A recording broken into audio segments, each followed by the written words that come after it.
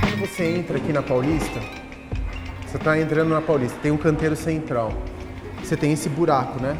Que passa por debaixo da Paulista, que vem aqui da Consolação, você dá a volta e você passa pelo buraco. Buraco da Paulista. Quando você emerge, você está atravessando a Paulista, não tem um gradeamento, que é uma cena clássica que as pessoas tiram foto? Há um tempo atrás eu corria por ali e via que as pessoas, as pessoas começaram a fazer, a colocar aqueles cadeados de amor, sabe? Que tem, por exemplo, em Paris. É, mas engraçado porque elas não declaravam amor para outras pessoas. Eu comecei a ver cadeados escrito São Paulo com liquid paper. Eu nem sei se os cadeados estão lá, acho que eles tiraram, porque outro dia eu passei porque queria fotografar e não achei. E é engraçado porque aquela grade, eu comecei a ver os cadeados sendo presos ali, e as declarações de amor não eram declarações de amor para uma outra pessoa, mas eram declarações de amor para São Paulo. Foi a primeira coisa que me veio à cabeça. Não sei se faz sentido, mas tudo faz sentido, né, quando se fala de amor. Acho que é isso.